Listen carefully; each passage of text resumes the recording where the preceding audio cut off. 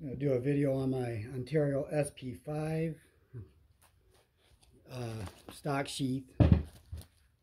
Is junk. Hate it. Way too long for the knife. By about two inches. It's too bulky. So we'll get that out of there.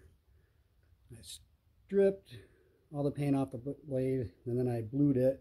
I actually used, and I don't know if it made a difference or not, but I mixed uh, some vinegar with a little bit of bluing I had left.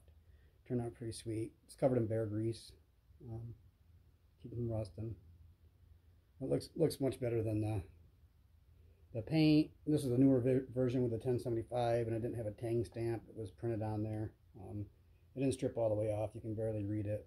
Um, I wish I would have kept the stamps. Um, pretty sweet. Love the Kraton handle. I wasn't sure about the Kraton handle. Um, I got a Ka-Bar with a Kraton handle. Uh, it's okay. I preferred the leather. Um, that's my case. Um, that's my one. I don't. I actually don't use this Ka-Bar either. Um, just got it for shits and gigs. But this is pretty sweet. Um, handle's comfortable. It's, it's, rock solid. It's actually held in there surprisingly well. Um, it's wore a little bit. This one has never been used. Just bought and kept. But I ended up picking up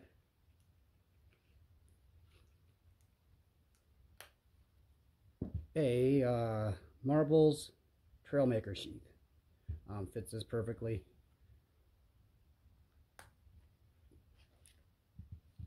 Oh, just it, it goes with the it fits. I mean, absolutely perfect. It's got a liner in it. Um, the, apparently the SP5 is thicker than the um, I can see that it's thicker than the Trailmaker, so I had to modify the liner. Um, so I had to split it, um, split it, and then form it with a heat gun. So even just a liner in there, the knife doesn't fall out. That's pretty sweet knife. I'm not, I don't do use videos, and you know Gideon's probably got the best uh, video out there. I just want to do a, a upgrade on, or a video on the sheath upgrade. I also ordered a um, oh a buck hoodlum sheath that actually ordered it before this. I that still hasn't come yet, but I got this one first, so I'm not even gonna try another sheath with it. Um, well, way better than this stock sheath. There's uh, a week ago today. I buried my best friend of uh, 12 years, so it's in honor of Riley. Um, but yep, sweet knife. Sheath is much better. The other knives are just for a quick comparison. I mean, this thing just dwarfs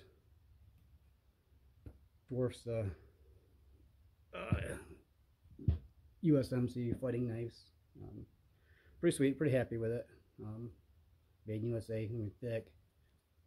You know, despite what another popular guy said, I don't think it's ugly at all. Although, although I think a swedge would have looked pretty badass onto it, or not a swedge, a fuller would look pretty sweet onto it. But I like it. Very impressed. I also got a.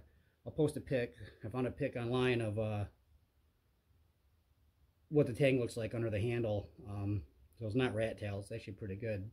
So I'm not going to try nothing with this one because I like the handle um, after getting it.